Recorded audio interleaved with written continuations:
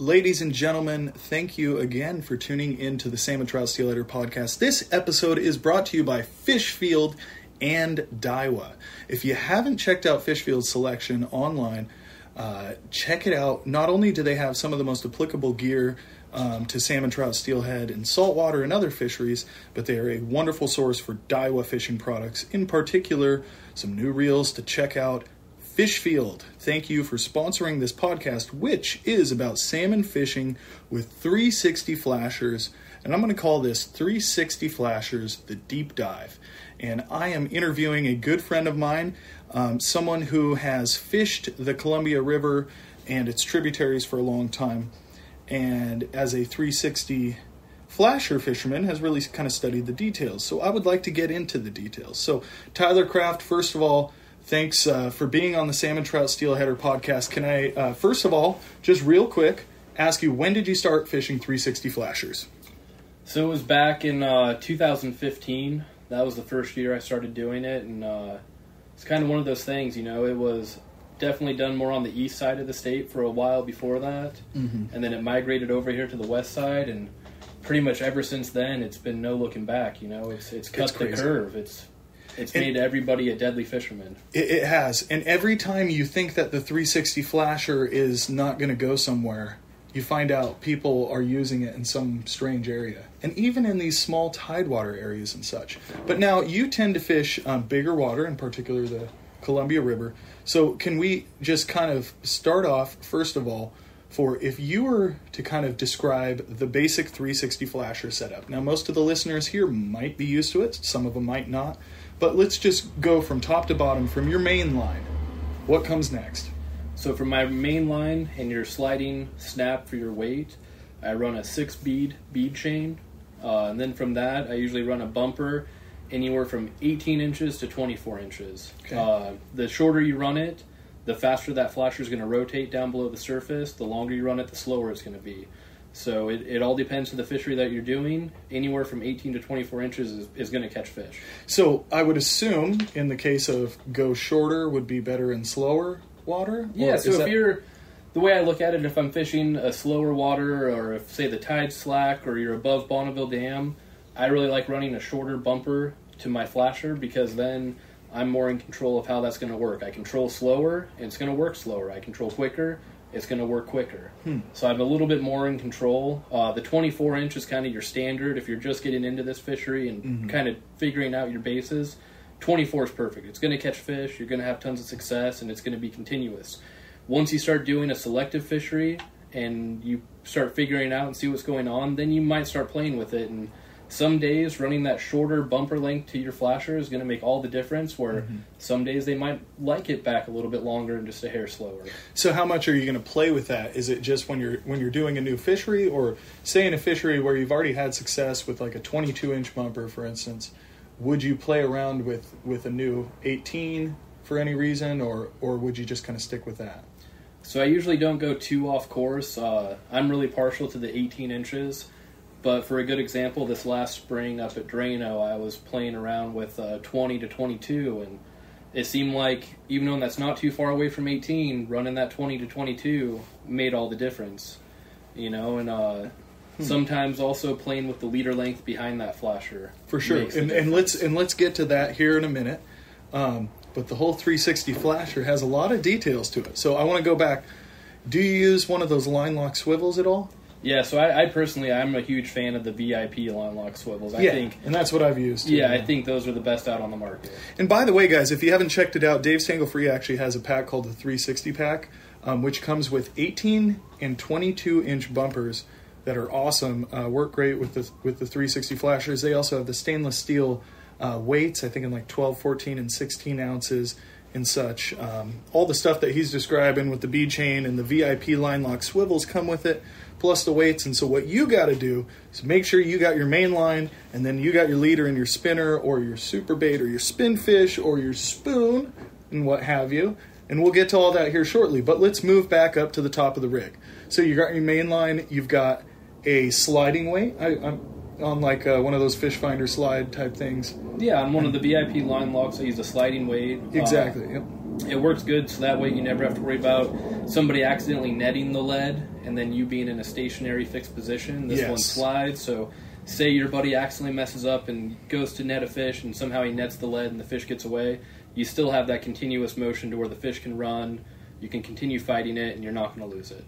Okay. Now, in terms of the weight itself that you're putting onto that line lock swivel, um, what, how low do you go and how high do you go, and then what are the averages So that in the Columbia River? if I'm just fishing the Columbia River, it's me and just a couple friends fishing, say, two, three rods.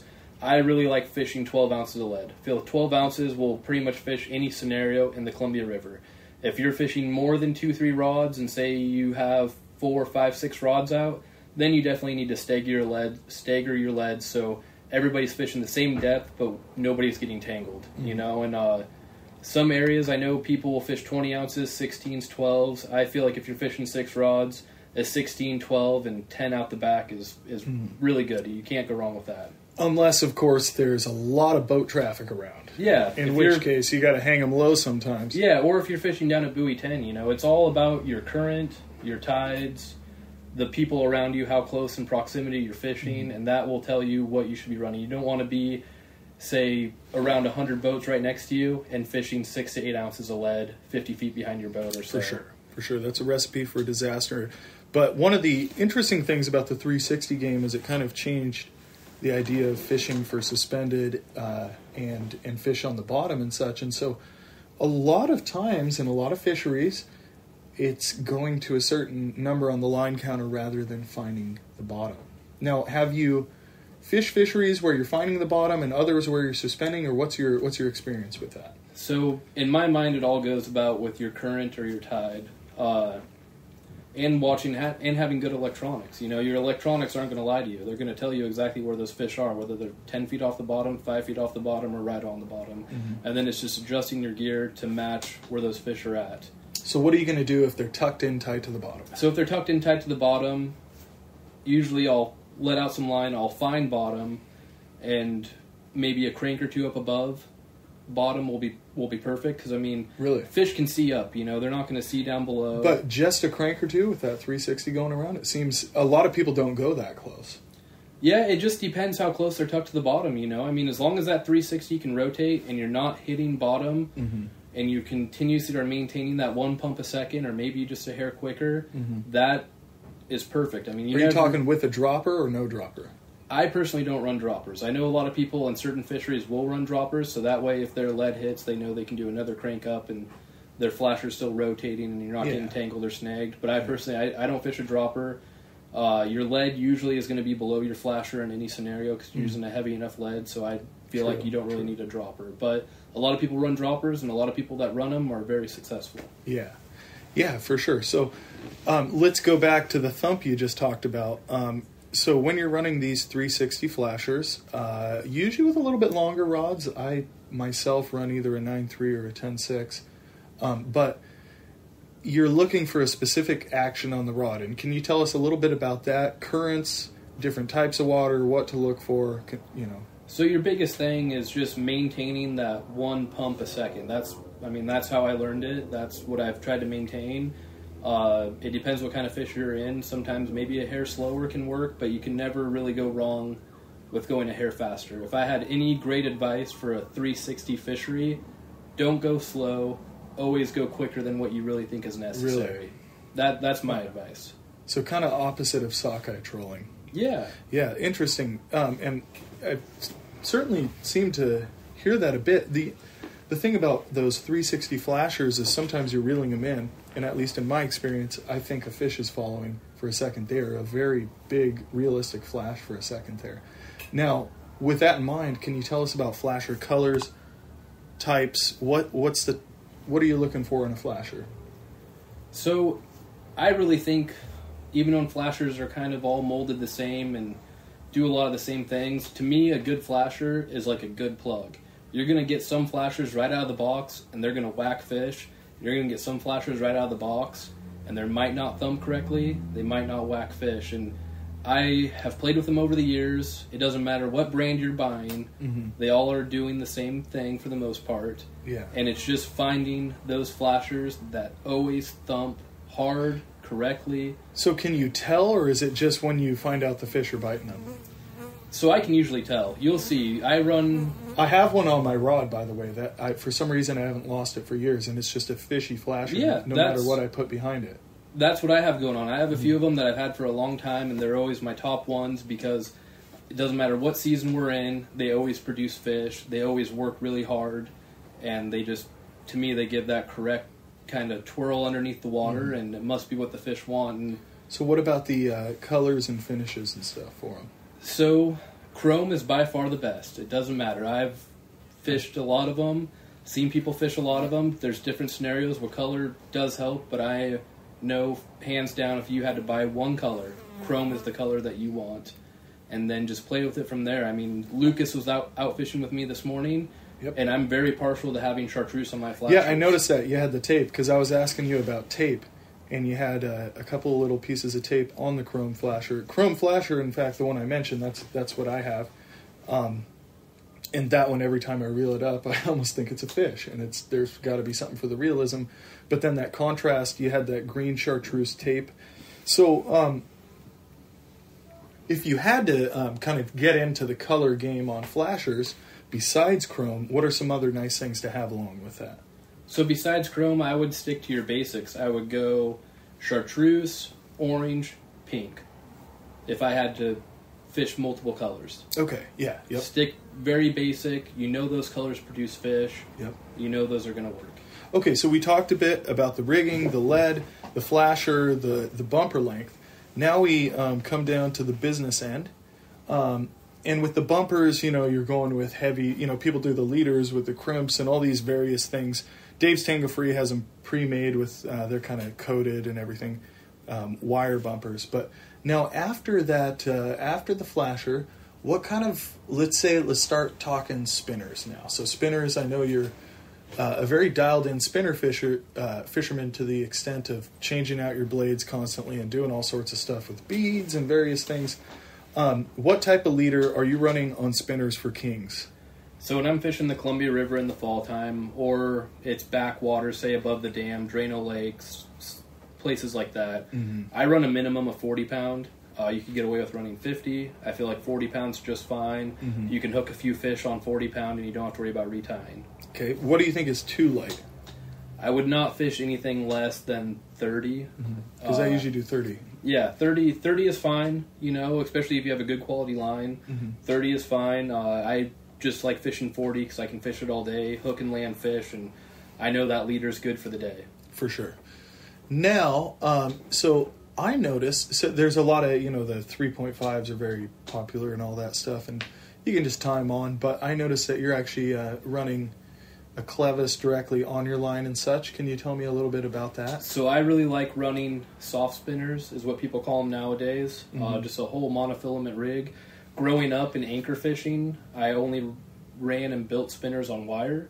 But with this whole 360 revolution, in my mind and just from my experience and what I've seen, the soft spinners you get a better action behind your flasher. With that Okay. stiff piece of wire, I and it's not all the time, but I do feel like you can lose some action with that stiff piece of wire, and it depends how heavy your wire is. They're all different gauges, different heaviness, and Mm-hmm. uh, I just feel like running a total one piece of monofilament on a soft Mhm. spinner, you just get better action continuously behind your flasher. Yeah, and especially on the turns and such as well. Yeah, I didn't really think about that much, but yeah, it was interesting. Um, you know, Buzz Ramsey was talking about the same thing. We were uh, fishing. We had a good time fishing with Buzz, and he was talking about uh, one of his other one of his other buddies doing the same thing, the soft spinner approach. And then I pulled up and looked at your rod, and you had that. I noticed you do use a lot of hoochie skirts as well on your spinners. So I'm a big fan of hoochies. I run them with and this is hoochies. this is upriver too, which I, for Yeah. me it seems like the farther I get upriver, the farther away I get away from pinks and hoochie skirts. But you're using it up there. Yeah, I mean, I, I, this is my thought on hoochies. Hoochies always have a set of eyeballs on them. Yeah. What do fish feed on? They feed on bait fish out in the ocean. Yeah. In the springtime, they're still going to hit a wounded herring. I think anything with a set of eyes on it is going to get more looks than anything without. But there are different times where just running a naked spinner without a hoochie, that's the ticket. And then hmm. there's times where running the hoochie is the ticket. So if you're going out there with a buddy, I honestly I would run one spinner totally without a hoochie, just the plain tubing and your beads, and then I'd mm-hmm. have the other friend running a spinner with a hoochie. Mm-hmm. And we all know coho love hoochies. They do. So this time of year, when we're getting later into the month of September, we have strong counts of coho going over the dam, and a lot of people are hooking coho.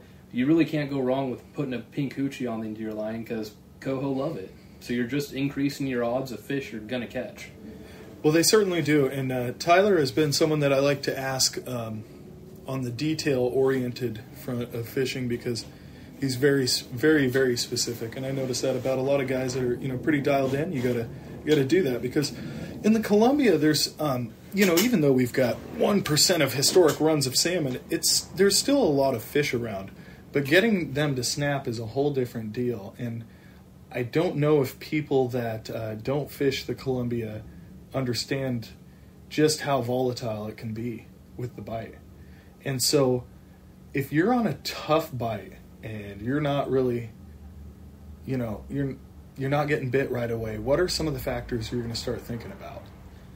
So if I'm fishing a place that I've fished multiple times before and had success, and I'm not getting bit, and I have a couple rods to play around with, uh, I would start maybe changing the length of your leader to your Mm-hmm. and you spinner. know you know there's fish there. yeah, and I, them. Yep. yeah, and I know there's fish going by, and maybe you see some boats around you catching some. yeah. You know, I the first thing I'm going to do, uh, change the length of, the length of the leader to my spinner, spin fish, a super bait, whatever you're So doing. So let's talk about that first of all. Leader length in the first place. What are you going to start with on a spinner?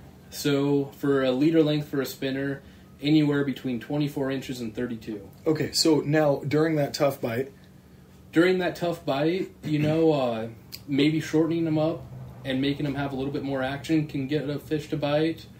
Uh, also, going the reverse way, maybe lengthening them up and having a little less action can go good in your favor. But if you're fishing a spinner, say it's a good day, people around you, there say there's 50 boats around you. It's a good day. Everybody's hooking fish, and for some reason you're not. You know, you can't go wrong with that 26 to 28 inches. okay, That's like that's my standard. that's a consistent. that's zone. a consistent zone that I fish, and good. day in and day out I have success. But then you can play around from the 24 to 32. yeah, yeah, and even you can go as short. Now, why not go shorter? Because You can. I have in a lot of you know early on when I was doing this with me and my dad and such, I had no idea what I was doing. I just knew it was a didn't know anything about bumper length or leader length, and I was using a lot shorter leaders and getting bit on spinners. So I have a few friends, and that I talk to, and they're good fishermen, and they'll fish them as short as 18 inches. Mm-hmm. You know, and the, we've learned one thing. For a long time, people thought salmon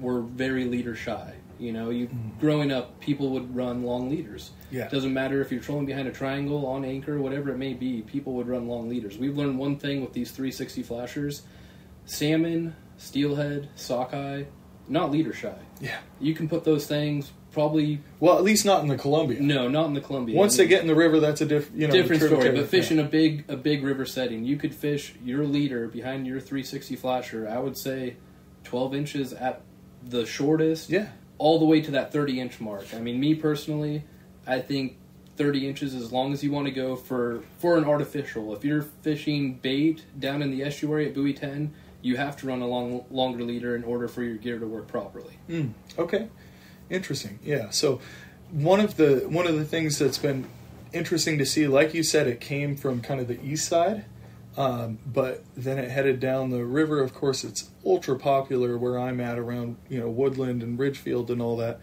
But interestingly enough, it's it's it was still kind of like oh, but we don't use those down at Buoy Ten, and now it's like okay, we use those down at Buoy Ten. And then I hear of people using them in the tidewaters of little teeny Oregon coastal rivers that I've been and I've fished with a bobber or a spinner. And I'm like, are you serious? And they're like, yeah, we can see the spinner going and we're still getting takedowns.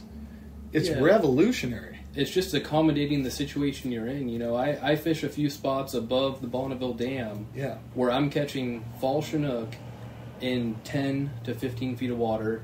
I'm fishing my pro trolls to where I can see them turning below the surface, and the next thing you know, that rod's folded over, rip in line with a fish on. It's incredible. Yeah, it's really something. So, you know, um, besides spinners, and so for me, I've, I've got to go out with a lot of really great fishermen and, and have multiple rods out at one time. And one thing that I just love doing, or a couple things that I love doing, is either new fish or a new place, new river, new, you know, lake, whatever, or a new lure. And so I've been playing around with trolling spoons. Um, there's actually an episode on the uh, Addicted Fishing channel coming up, which will have kind of a cool surprise uh, fish on an interesting bait. So, but but the kind of the whole concept is 360s are not just spinners. You can pull spoons behind them. I really think people should be trying that more. Um, and then, uh, but beyond that, the hard baits, basically the spinning plugs, the super bait, and the spin fish, and the you know the cut plug. What do you think about that whole scene? What has been your experience? When do you go to those? What do you like to use? Colors? Give me your secrets, Tyler, and share them with the entire podcast audience. so there's no doubt about it. It's almost anything you put behind a 360 flasher is going to get bit. It's just mm-hmm. kind of finding that sweet length for you for a leader mm-hmm. that works in your scenarios. And uh, I'm usually pretty lucky enough. I fish with some good friends and get a fish two, three, four rods. And I will tell you one thing: it doesn't matter. We could be having an epic spinner bite. I will always have one lure, whether it's a spin fish, super bait, mm-hmm. anything. I always have one lure out there packed with tuna. Yep. Especially first thing in the morning, and this is this is my tip that I think is sometimes it'll make or break your day. Mm-hmm. First thing in the morning, say the sun hasn't come up, but it's just getting light enough you can fish. One thing that fish can do before they can see, they can smell. Mm. And if you have some good tuna, whatever recipe you're running, you put it in one of those spin fish or super baits, you put it in there, those fish can smell it the usually the super baits or spin fish are a little bit of a bigger object than a spinner. They can possibly see it sooner. Mm-hmm. And I've had multiple mornings where the first rod to get bit is a spin fish or super bait, and it's largely because it's a little bit bigger of a lure, and those fish can smell it. Yeah, absolutely. Um, now, I don't mean to give away your uh, secrets, but if you don't mind, what do you like to do with your tuna?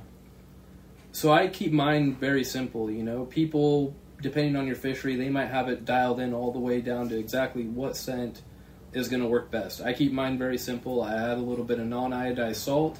I add a little bit of slamola powder, and I add a little bit of monster bite. I, I mainly fish upriver so usually, as we all know, fish get more upriver into their spawning regiment, and they're more kind of chemical driven. Mm-hmm. So I try to add a few bite stimulants. I don't go too overboard with it, mm-hmm. but I do sprinkle in that slamola and that monster bite because usually that can make the difference of a fish biting or not biting. And I know down lower and things like that down lower in the Columbia and the estuary, sometimes just cracking that can of tuna is all you need. Mm-hmm. You know, and then. Uh, where I'm fishing, usually around the dam, up above the dam, I'll start with that base recipe of just non-iodized salt, slamola powder, and monster bite, and then I always have a big bag of scents. You know, you can't go wrong with sand shrimp, krill scent, uh, prawn oil scent. You can't go wrong with just a regular good salmon scent. You know, it doesn't mm-hmm. matter. I, I really like the Northwest Bait and Scent for salmon scent Mm-hmm. The ProCure Addicted Blend salmon scent's amazing. Uh, mm-hmm. You really can't go wrong with any of those. It's just kind of figuring out in your area and playing with the scents. Yeah. What's going to be best for you? Well, you mentioned those bite stimulants, the ProCure Monster Bite and Slamola. Do you use the Slamola with garlic or the just or the so I use both of them. Yeah. Uh, usually, I'm really partial to using the ProCure Salmon Slammer, mm-hmm. and that has a good that good, has garlic in it. Yep, has a good hit of garlic in it. Yep. So uh, usually, what I do with my base recipe, like I said before, I just use the non-iodized salt, a little mm-hmm. bit of that. I use a little bit of just the regular slamola powder, mm-hmm. and then a little bit of Monster Bite. Yeah, so those um, those have sodium sulfite and some various things in them. The bite stimul- uh, stimulants which certainly seems to be a factor, uh, as Tyler mentioned, as Chinook get upriver. Not as much of a factor for coho, but doesn't necessarily hurt. Um, now, uh, as far as colors on those hard baits, the spinning hard baits, what what are you gonna? If you could take three colors, what are they gonna be? Three colors, just like I kind of talked about flashers. You know, mm-hmm. your your pink, orange, and then usually a lot of those super baits or spin fish have a little bit of chrome in them. Mm-hmm. You know, and that those are my three. I mean, I keep. What it, about I, chartreuse? Yeah, chartreuse is so. I guess it would be pink, chrome, orange, chartreuse. Those are my go-tos, and most of those lures it'll be pink and chrome, Yeah. chartreuse and chrome, Yeah, yeah. orange and chrome. You know, or What about sizes? sizes. Now that's all preference and what you like to do. I've seen a lot of the big size, like the original super baits, those whack fish. I've seen mm-hmm. all the way down to the kokanee cut plugs, those whack fish. Yeah. Same thing for the spin fish. You know, I've seen people running the 4.0 spin fish. I've seen people running the 2.0 spin fish. They all they all work in different scenarios, and the biggest thing is those will all work consistently. Mm-hmm. It's just really dialing in the area of the river that you are fishing, or say you're fishing tide water, or just kind of that body of water to the size of bait that you need. Now, would you fish a triangle? Yeah, yeah. So before, honestly, before pro trolls were a thing, in the fall time, especially on slack tides or incoming tide, I used to just fish triangle flashers with a four to five foot leader to a spinner Yeah. and troll. Now, do you still do that though? Ever? Yeah, yeah. So in the springtime over on the Multnomah Channel, big secret right here that somebody might get mad that I'm letting this go. Triangle flasher, five foot leader to uh, Brad Superbait original. I really like the cut plugs that time of year, or even a spinfish. Awesome. That's Awesome. something you don't need to worry. Especially this last year, we had a huge herring shortage. Yeah. Very hard to get good bait. And I know a lot of people, and I even got to partake in it. We Mm-hmm. had very good success over on the Willamette hmm running a triangle flasher with a five foot leader to a spinfish or a super bait. No, that's good stuff, and you heard it here uh, first, folks. So if you do run something like that, or if you if you have gotten some tips from this podcast that that are helpful, we'd love to hear it. Um, comment. It's the best thing you can do for this podcast besides subscribe to Salmon Trout Steelheader and get the magazine in your inbox. But for the rest of you freeloaders, we still love you. Just go ahead and comment and share and tell your friends about it. It's all good. Tyler Kraft, thank you so much for being on the podcast here. Now, Tyler is kind of a personal friend uh, that I get to fish with. Unfortunately, you can't um, book a trip with him or anything necessarily. But um, if you like the information on this, let us know. I'd like to have Tyler back on the podcast here shortly. So, um, Tyler, thanks again for uh, hanging out and fishing. Also, if you haven't seen, there's a couple uh, videos of Tyler talking about plug fishing and a little bit of steelhead float fishing. That, some videos we did together on the Salmon Trout Steelheader YouTube channel. So, Tyler, uh, technique wise, what's your plan for October and November on salmon? So the next two weeks till about the middle of October, I'll be fishing around the dam, around Bonneville. Mm-hmm. I'll keep going for Chinook till about the middle of October, and then I'm going to be moving upriver to fish our epic coho run that we have coming. Mm-hmm. Coho's already been strong over the dam, but that middle of October, you're going to see some really epic things happen, kind of wherever mm-hmm. you're at on the Columbia. Are you doing 360s for coho? I will be doing 360s for coho. I'll be doing the triangle flasher for coho, and mm-hmm. I'll be just pulling plugs. Cool. That's and spinners and twitch. I mean, pretty much everything. Spinners, twitching jigs. I I still for my coho fishery, I pretty much stay on the Columbia. I just mm-hmm. move to different spots on it, but 360s, triangles, plugs, spinners, twitching jigs. Yeah. You'll be amazed.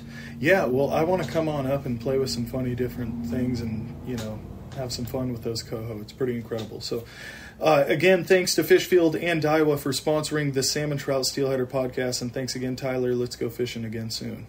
Can't wait, Lucas. It's a good time. All right, guys, comment below. You know what to do.